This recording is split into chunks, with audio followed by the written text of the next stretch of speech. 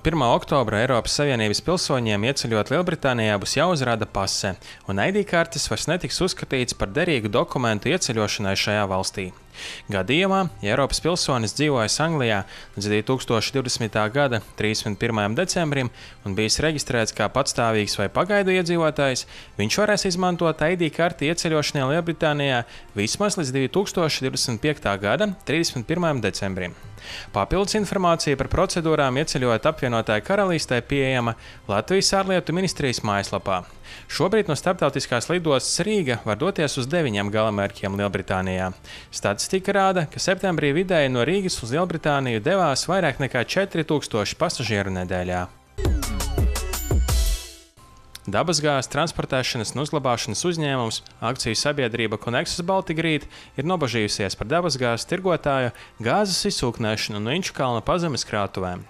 Ja šādi tempi saglabāsies arī turpmāk, tad viena no lielākajām Latvijas gāzes krātuvēm tiks iztukšota jau nākamā gada janvārī. Par to Saimas tautsēmniecības komisijas sēdē informēja Konexus korporatīvās stratēģijas nodaļas vadītājs Jānis Eisaks. Viņš informēja, ka problēma šogad radusies cenu starpības dēļ starp ziemas cenu un to, ko nāksies maksāt par gāzi nākamā gada pavasarī. Šobrīd gāze maksā 30 eiro par megawattstundu. Tas nozīmē, ka jebkurai megawattstundai, ko tirgotājs iegādāsies bez nepieciešamības un novietos glabāšanā Inču kalnā, draud potenciāls 30 eiro zudums nākamajā pavasarī, skaidroja Eisaks. Turklāt viņš atzīmēja, ka Koneksus baidās no gaidāmās ziemas un tirgotāju darbībām. Tādējādi krātuvā janvārī var palikt tikai tas gazas daudzums, kas šobrīd ir rezervēts saskaņā ar ministru kabineta noteikumiem par enerģijas lietotāju apgādi un degvielas realizācijas kārtību enerģetiskās krīzes laikā valsts apdraudējuma gadījumā. Prioritārajiem pasākumiem 2022. gada valsts budžetā papildus tiks atvēlēti gandrīz 697 miljoni eiro. Galvenie prioritārie virzieni joprojām būs veselības aprūpe, izglītība un drošība. Lai nodrošinātu šo nozaru darbu, ir paredzēti papildus 220 miljoni eiro. Vēl 100 miljoni eiro paredzēti pašvaldību infrastruktūras attīstībai. Tā skaitā 30% no šiem līdzekļiem būs pieejami grantu formā zinātnes attīstībai un fundamentālo un lietišķo pētījumu finansēšanai nākamā gada budžetā paredzēti papildus 10,6 miljoni eiro, bet masu informācijas līdzekļu atbalsta fondam 2,6 miljoni eiro. Viena no valdības prioritātēm nodokļu jomā 2022. gadā būs nodokļu sloga samazinājums darba spēkam. Nodokļu izmaiņu rezultātā 2021. gadā tiks samazināts nodokļu sloks cilvēkiem ar zemu ienākumu līmeni. Šiem pasākumiem nākamgad plānoti 93,8 miljoni eiro. Un jāņem vērā, ka neapliekamais minimums no 1. janvāra tiks palielināts līdz 350 eiro, bet no 1. jūlija līdz 500 eiro mēnesī. Gandrīz 311 miljoni eiro rezervēti investīciju projektiem, kā arī Covid-19 radītās krīzes pārvarēšanai. Kā vēsta Veselības ministrijas prognozes, jau 15. oktobrī Latvijā varētu tikt fiksēti jau 1200 jauni Covid-19 saslimšanas gadījumi un vairāk nekā 80 hospitalizācijas dienā. Kā norāda speciālisti, salīdzinot ar pagājušā gada attiecīgo periodu, šajā rudenī hospitalizēto slimnieku skaits ir samazinājies, bet lielākajai daļai slimības gaita ir ļoti smaga. Ja pērn šis rādītājs sastādījis 5 līdz 6% no kopējā skaita, tad šobrīd, izplatībā dominējot delta paveidam, smago slimnieku skaits sastāda gandrīz 14%. Pagājušā nedēļā Rīgas Daugopils un Iekapils stacionāros ir palielināts koronavīrusa pacientiem atvēlēto gultas vietu skaits no 504 līdz 591. Saskaņā ar statistikas datiem 27. septembrī aizņemts bija 70 no visām covid pacientiem atvēlētajām gultām, no tiem 75 intensīvās terapijas nodaļā. Divu nedēļu saslimstības rādītājs valstī jau sastāda 427 gadījumus uz 100 tūkstošiem iedzīvotāju. Inficēšanās līkne ar bīstamo vīrusu aug visās vecuma grupās.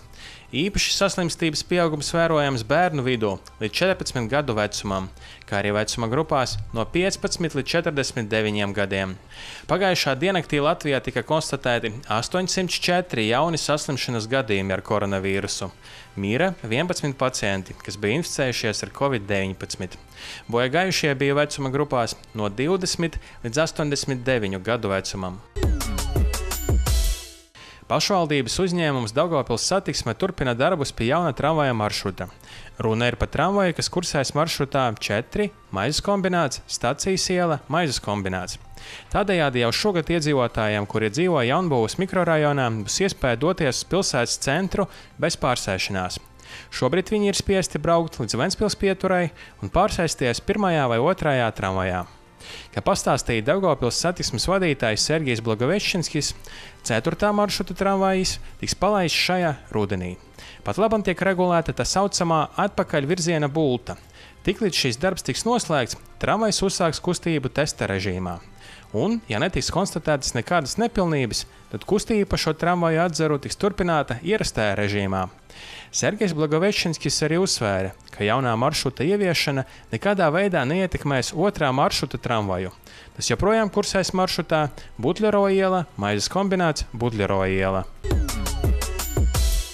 Šī gada vasaras sākumā Daugopils novada pašvaldība, uz doto brīdi jau Augstdaugavas novads, ir uzsākusi ceļu infrastruktūras uzlabošanas projekta īstenošanu, kura ietvaros tika veikti divu ceļa posmu asfaltēšanas darbi pie darbskopības kooperatīviem Celtnieks, Daugava un Mičurinietis, kas atrodas Kalkunas pagasta teritorijā. Daugopils un novada iedzīvotāji, kuriem vasarnīcas atrodas šajos darbskopības kooperatīvos, ir apmierināti. Vienīgais, ko viņi šobrīd prasa, veikt remontu arī Kieģeļu ielā Kalkunas ciematā. Jautājums nav tik vienkāršs. Lieta tāda, ka daļa Kalkunas mikrorajona atrodas Augstdaugavas noda teritorijā, otra pilsētas teritorijā, un ielas posms, kuru vēl nav paspējuši savest kārtībā, ir pilsētas pašvaldības atbildības zonā. Komunālais saimniecības pārvaldei dots rīkojums noteikt dotā posma garumu. Vadoties pēc loģikas, tas, protams, būtu jāremontē. Izvērtēsim, kā novads veic šo projektu. Ja tur viss kārtībā un varam veikt to pēc analoģiskās metodes, tad meklēsim līdzekļus, lai uztaisītu nākamgad šo ceļa posmu. Tas, protams, būtu pamatoti. Attiecībā uz augšdaļgavas novada projektu šogad plānots pabeigt grunts ceļu asfaltēšanu 2,5 km garumā. Projekta vērtība sastāda 330 tūkstošus eiro. Būvdarbus veic uzņēmums Latgales ceļderis. Daktori klauni jau sen ir kļuvuši par Latvijas slimnīcu darbiniekiem. Pateicoties šiem speciālistiem, mazie pacienti, atrodoties slimnīcā, jūtas mierīgāki un pārliecinātāki. Jo šeit viņiem ir draugs, klauns, pēc tikšanās ar kuru potes vairs nav tik sāpīgas. Dakteris Klauns ir starptautiska profesionāļu komanda, kas strādā vairāk nekā 30 pasaules valstīs. Programmas galvenā ideja ir palīdzēt bērniem pārvarēt psiholoģisko un fizisko stresu, kamēr tie uzturas slimnīcā.